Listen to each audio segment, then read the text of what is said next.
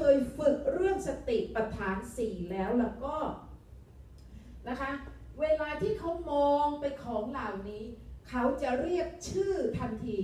ก็จะเรียกนี่คือส้มนี่คือเชอร์รี่นี่คือเปียโนนี่คือคลิปนี่กระดาษนี่คือกาแฟนี่คือเรือดำน้ำรองเท้านะน้องหมาน้องเบบี้อะไรต่ออะไรก็ว่าไปก็ใช่ไหมเขาจะเรียกโดยอัตโนมัติโดยธรรมชาติ อ้าวเธอไม่ทำเหรอใช่ไหมเขาจะรู้ทำไมเหรอมันมันมีอะไรอะให้คุณรู้ว่าว่า การทำเช่นนี้แสดงว่าผัสสะของเขาไม่บริสุทธิ์ ไม่บริสุทธิ์นะคะ คือไม่บริสุทธิ์ตรงนี้ไม่ได้หมายความว่าผิดนะนะมันไม่จำเป็นว่าจะต้องผิดเข้าใจไหมเพียงแต่ให้รู้ว่าการทำเช่นนี้ใช่ไหม ชินกับเห็นอะไรก็ต้องเรียกชื่อใช่ไหมเห็นอะไรก็เรียกชื่ออันนี้ก็กำแพงอันนี้ก็เรียกว่าฝ้า นี่ก็เรียกว่าไฟเนี่ยเรียกว่าอะไรก็ว่าไปใช่ไหมคือทุกคนเขาก็ทำอย่างนี้แหละ ทุกคนก็ทำอย่างนี้ คือการทำอย่างนี้ได้ก็เพราะว่าข้างในหัวของเราอะมีเจ้าเจอรี่ มีเจ้าเจอรี่เนี่ยมาสั่งงานมาเรียกชื่อนะของต่างๆเหล่านี้ ซึ่งเป็นภาษาที่ไม่บริสุทธิ์แต่ ถ้าคุณต้องการอยากที่จะรู้เรื่องสัจธรรมสูงสุดนะคะ ว่าสัจธรรมเนี่ยมันคืออะไรมันมีอะไรนะคะ คุณจะต้องสามารถมอง คุณจะต้องนะคะจะต้องฝึกเนี่ยฐานหนึ่งสองที่จะเอาประชากรเจอรี่ออกไปก่อนนะคะ แล้วก็ขึ้นสู่ฐานสามนะดูว่าเจอรี่มันอะไรทำงานยังไง แล้วก็ปล่อยมันไป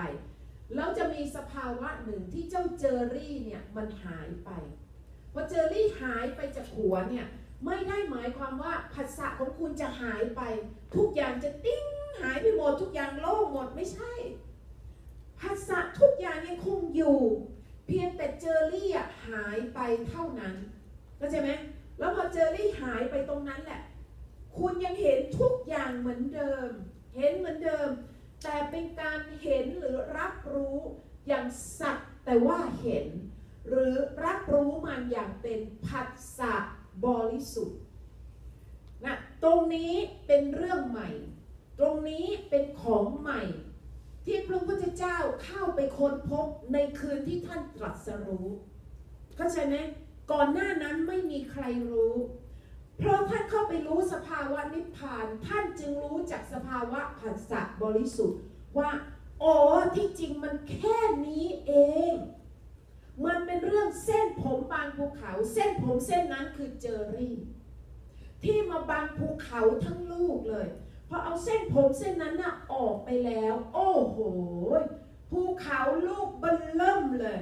นะคะ ที่เรียกว่าสัจธรรมสูงสุด นิพพาน หมดทุกอย่างสิ้นเชิง มันอยู่ตรงนั้นเอง มันอยู่ตรงนั้นเองนะคะ ฉะนั้นสภาวะนี้แหละ จึงเป็นสภาวะผัสสะบริสุทธิ์ซึ่งเป็นเรื่องเดียวกับนิพพาน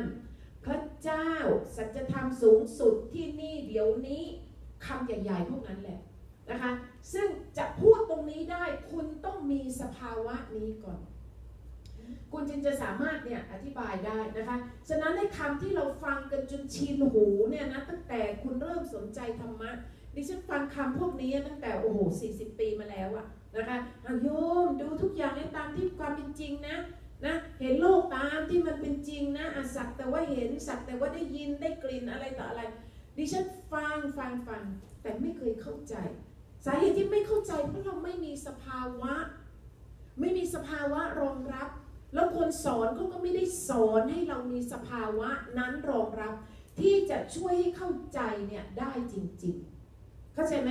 ฉะนั้นในท่ามกลางคำใหญ่ ๆ พวกนั้นนะคะ มีแค่ผัสสะบริสุทธิ์เท่านั้นน่ะที่เป็นวิทยาศาสตร์อย่างยิ่ง ที่เป็นวิทยาศาสตร์อย่างยิ่งเลยที่คุณเนี่ยนะจะต้องใช้เนี่ยเป็นฐานในการไต่เต้าขึ้นไปสู่คำใหญ่ ๆ พวกนี้ ฉะนั้นอย่าเป็นอันขาดนะคะที่ไปพูดเรื่องนิพพาน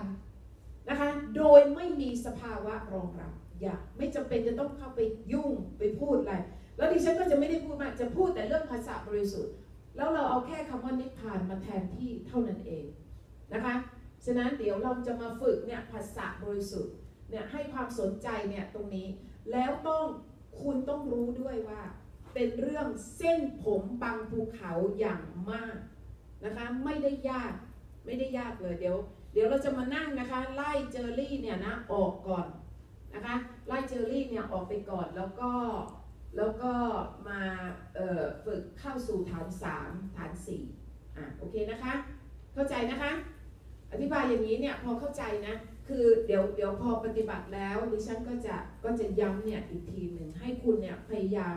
ให้มีสภาวะของภาษาบริสุทธิ์เนี่ยให้ได้ แล้วดิฉันก็จะย้ำเนี่ยให้กับคุณนะคะว่าต้องรู้จักสภาวะนี้เนี่ยนะให้ให้ให้ดี แล้วคุณก็จะพยายามก็จะเข้าใจได้ต่อเนื่อง